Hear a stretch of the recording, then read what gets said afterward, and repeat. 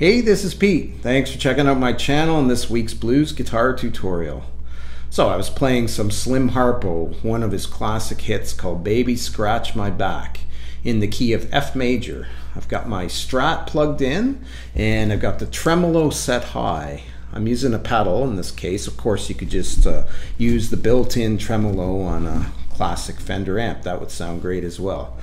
So this is a 12 bar blues progression and um, I found two parts to this song. There's the tremolo part which has a melodic head and a short guitar solo as well. The second guitar part is a rhythm guitar. Alright, so we'll get started with the tutorial and remember that you can subscribe to my channel for these weekly guitar lessons. Scratch my back.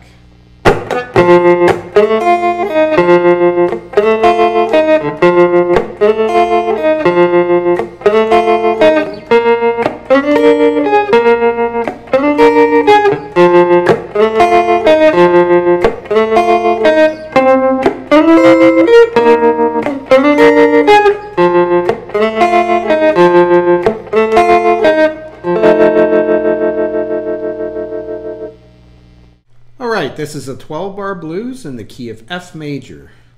I've got the tremolo set and I'm playing this strat here. I'm not sure that it uh, makes a big difference on what pickup you're on, but I'm on the bass pickup for reference. So what I'm going to be doing here is playing this melodic head, which is really just uh, following a uh, dominant 7 chord, like so.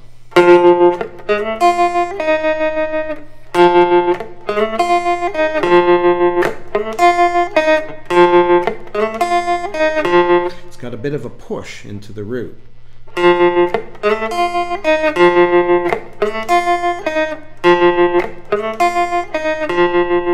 All right, so just doing a bit of a slide. I guess you could do a hammer as well.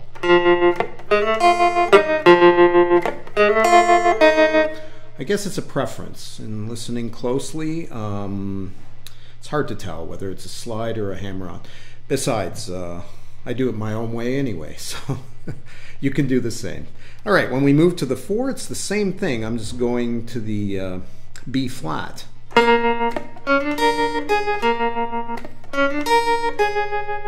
And the five follows, same thing.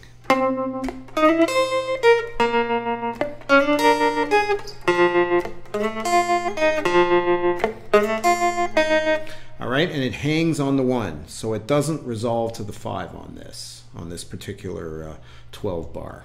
So the song actually starts with a harmonica for the first two bars. Um, so the guitar picks up on the third bar. So that's why it seems like there's a real quick change happening, but uh, it's accounted for in the harmonica intro.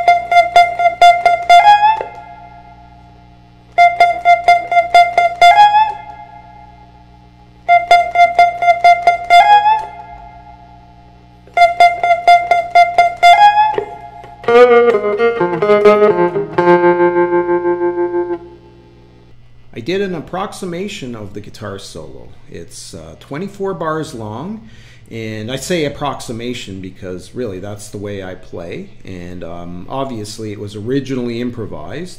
So when I'm going to do a take on that, uh, I really want to try to get the feel more than anything.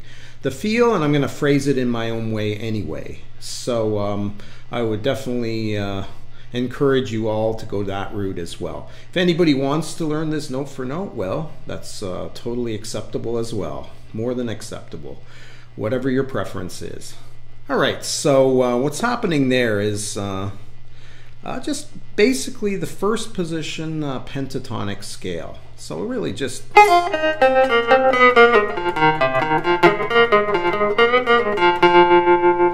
There's some bending on this third G string.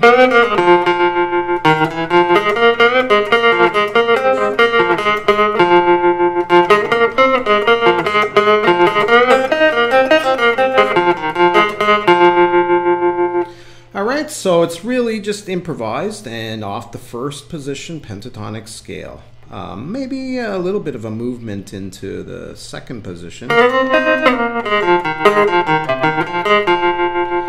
Right, so a little bit more on this style. If you're interested in that style lead guitar, you'll hear uh, Jimmie Vaughan playing that quite a bit, including on the uh, the great version that the Fabulous Thunderbirds do of this uh, as a cover. All right, so that first uh, 12 bar finishes, and then we go into this classic uh, little uh, lick that uh, Slim Harpo was doing. And he just keeps repeating that all the way through the 12 bar section.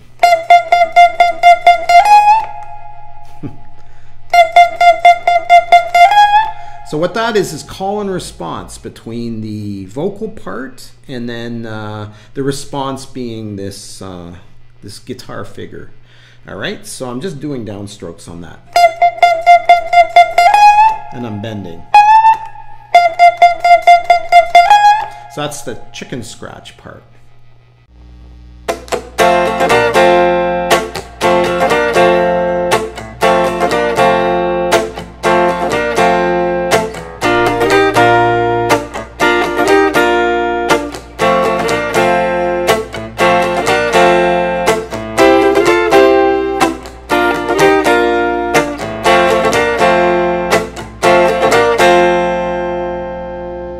The other guitar part is a rhythm part and just playing through the chords with a bit of a funky style. So, just playing through the chords like so. To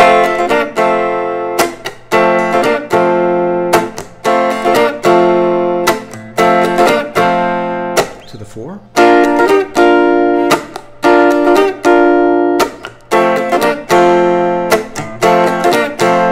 All right, just the five, four, one as well.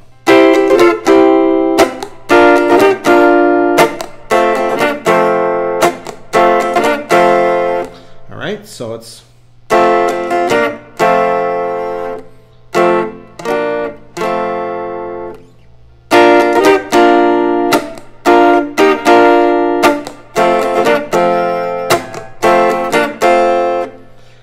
so you can really hear that rhythm guitar part well while the other guitar player is playing the solo on the original recording.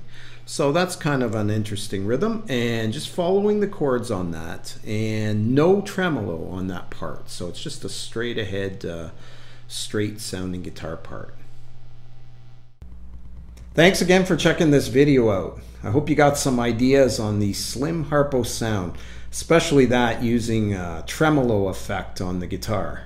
It's an early 1960s sound based off of the Excello Records label definitely check out some of Slim Harpo's work and some of the other artists on that uh, great label, Excello, from the Deep South. All right, so thanks again, and remember to subscribe to my channel for these weekly blues guitar tutorials. We'll see you again soon.